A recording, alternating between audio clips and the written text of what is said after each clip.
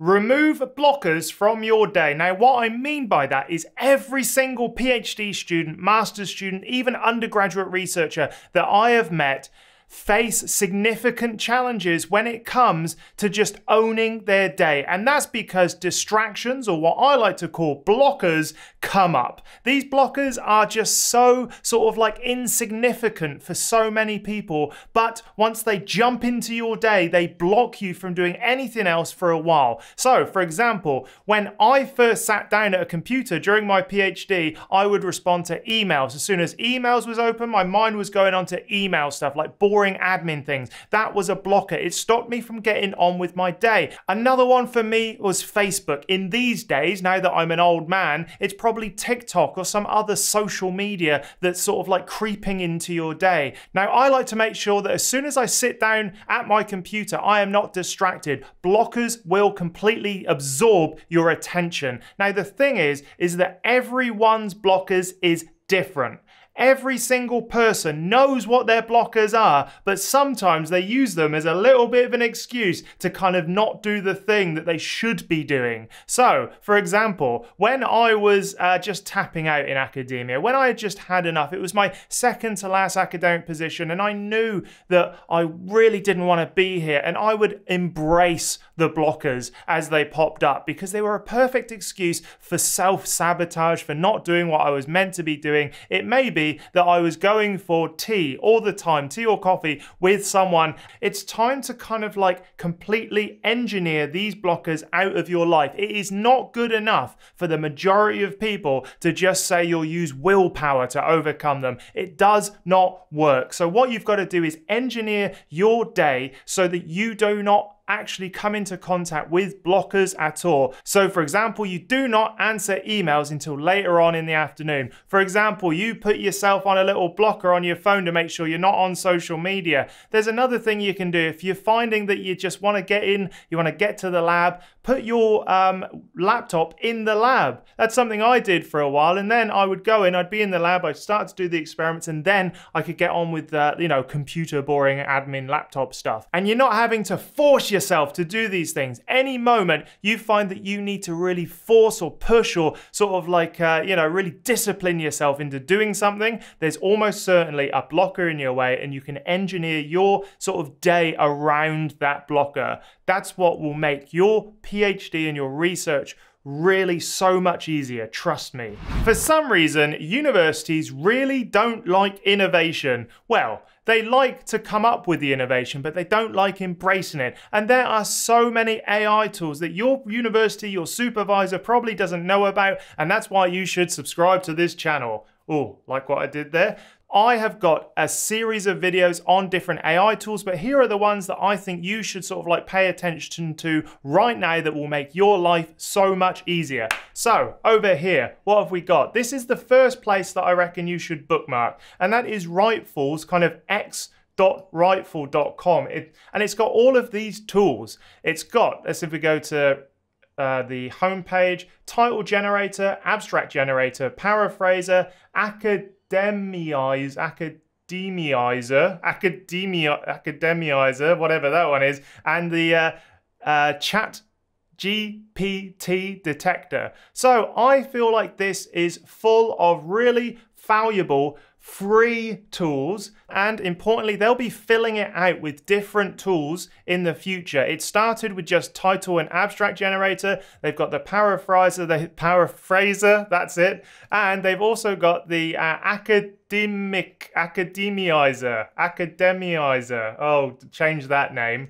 um, so, for example, you can just sort of like put something in and it'll give you a more formal version, a more academic version of what you're trying to say. Um, and these tools really do help and if you're worried about things like where your data's going, whether it's stored with other services, uh, AI services, that can be a little bit confusing. Here, you can see that your data is fully encrypted and never stored. So you don't have to worry about posting your secret new paper into these, unlike maybe some other tools that I know some people in the comments of other videos have been a little bit worried about. So there's your first one. Second one, Litmaps. I love Litmaps. It's my personal favorite, but there are others like Research Rabbit and uh, connected papers that you can use. So this is a great way of searching the literature. Elicit is another great semantic search for finding papers. So here it is. Um, it's just so easy and intuitive to use. And then my favorite, it's become really my personal assistant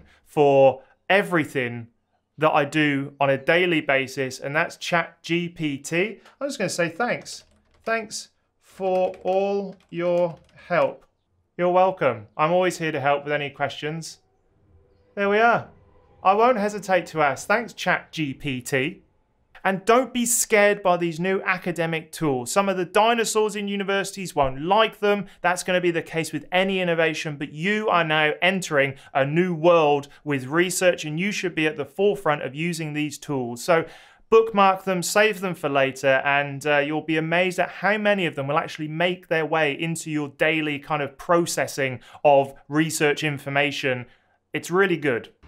One thing that I do that is absolutely invaluable every single day, and every single PhD and researcher should do it, and that is be clear on your one big goal of the day. Quite often, when we're researching, when we're in academia, we cannot see the forest for the trees. And it's important that we focus on making progress every single day. The way you do that is you make sure you have one big goal a day, if you were to only do that one big thing a day, what would it be? What would make you happy? You know, at the moment, for me, it's like produce a video, produce a bit of content.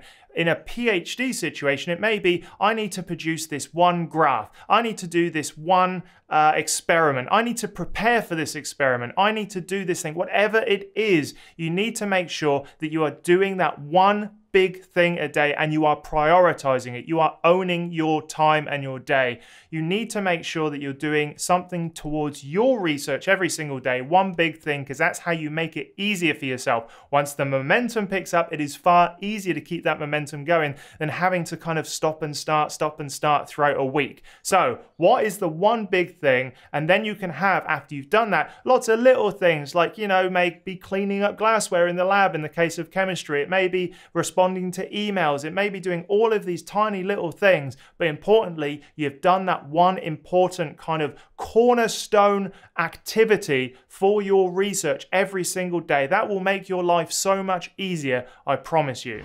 It's really important that you de risk your experiments as you progress through your PhD. This will make your life so much easier when it's crunch time, i.e., at the end of your research project. In the early stages of your PhD or any research project, it is time to fail and try the Hail Mary kind of experiments. Try just all of the things that you really hope would work, but you really have no idea if they will.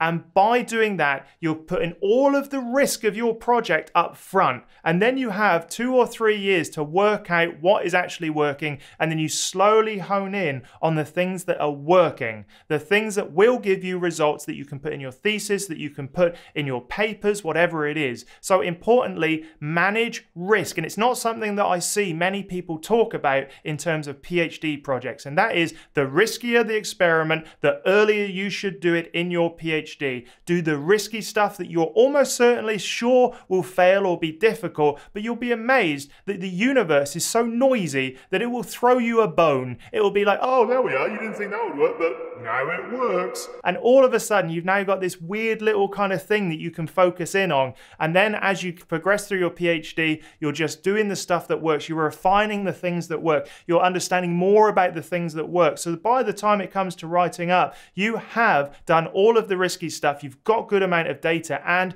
importantly, you, are reporting on things that are working. So managing risk and thinking about risk as a sort of primary decision maker throughout your PhD will make your research so much easier for you. Trust me, I know so many people that don't think about risk and sort of managing that risk. And then ugh, at the end of their PhD, they are panicked. They're panicked because they need results. And that means that it's stressful, that it's almost certainly not going to work out the way they want, and it ends up extending their research. So manage risk. Did I say that enough? Think about risk throughout your entire project. Do risky stuff the first thing you do. Make it risky, make it hardcore, make it the Hail Mary project you wish it would be. And then eventually the things will work out. And then at the end, ah, it's just nice cruising into the finish line knowing that things are working. Trust me on this.